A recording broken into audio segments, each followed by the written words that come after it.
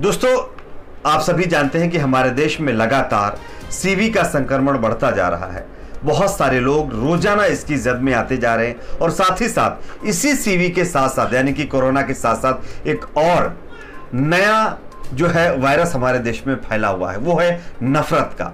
जब से सीवी आया है, तब से लगातार वो जो दूसरे नफरत के वायरस के लोग हैं, वो लोगों के बीच माहौल ख़राब करने की कोशिश कर रहे हैं। वो चाहे सोशल मीडिया हो या फिर डिजिटल प्लेटफॉर्म हो या फिर मेन स्ट्रीमिंग मीडिया हो, लगातार देश में भाईचारा खत्म करने की कोशिश कर रहे हैं। आप सभी को पता है, जब से मरकज का मामला सामने आया है, तब से लगातार सोशल मीडिया पर या डिजिटल प्लेटफॉर्म पर या फिर मेन स्ट्रीमिंग मीडिया में लगातार अलग अलग तरह के वीडियोज़ शेयर किए जा रहे हैं और उसको आइडेंटिफाई भी किया जा रहा है। लेकिन अगर आपके पास भी ऐसा कोई वीडियो आता है और अगर आप भी उसको फॉरवर्ड करते हैं। वो किसी भी धर्म से ताल्लुक अगर रखता है, वो चाहे मरकज से भी क्यों ना हो तो आप इस वीडियो को पूरा देखिए, वरना आपके खिलाफ भी ऐसी कार्रवाई की जाएगी कि शायद आपको भी पता नहीं चलेगा और उसका खामियाजा आपको काफ़ी अच्छे से भुगतना पड़ सकता है। थोड़ा डिटेल से मैं आपको बताऊँगा, लेकिन उससे पहले अगर आपको लगता है कि हमारे देश में भाईचारा की ज़रूरत है तो आप इस वीडियो को लाइक करें, चैनल को सब्सक्राइब ज़रूर कर दीजिए। महाराष्ट्र में आप सभी को पता होगा, सबसे ज़्यादा सीवी इन्फेक्टेड लोगों की संख्या बढ़ती जा रही है और वहाँ पर कैजुअलिटीज भी हुई हैं।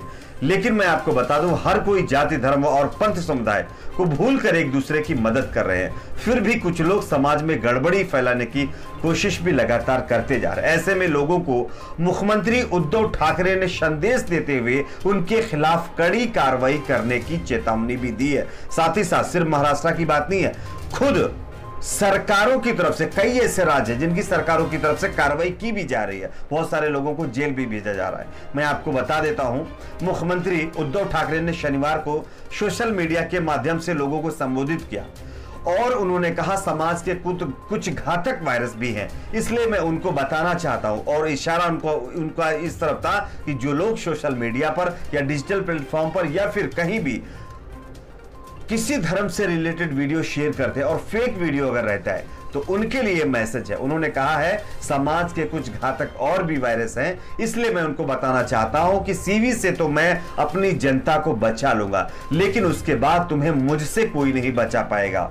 इसलिए कृपया गलत वीडियो ना शेयर करिए। आप उनका ट्वीट भी देख सकते हैं। मैं उनके ट्वीट को बाकायदा दिखा रहा हूँ। अगर आप भी महाराष्ट्र से लेकर के, बिहार से लेकर के, उत्तर प्रदेश से लेकर के, अलग अलग मध्य प्रदेश से लेकर अलग अलग राज्यों के रहने वाले हैं। और इस तरह के कोई वीडियो को आप शेयर करते हैं तो पहले आप होशियार हो जाइए।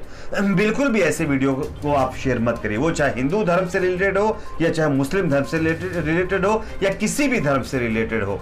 अगर आप ऐसे वीडियो को शेयर करेंगे, जिसकी वजह से लोगों के बीच नफरत और भाईचारा के तो आपके खिलाफ कड़ी कार्रवाई की जाएगी, जबकि अलग अलग प्रदेशों के मुख्यमंत्री आकर के खुली चेतावनी दे रहे हैं। ठीक है? इसके बारे में आपका क्या कहना है, नीचे कमेंट बॉक्स में ज़रूर बताइए। इस वीडियो को लाइक करिए, शेयर करिए, चैनल को सब्सक्राइब ज़रूर करें।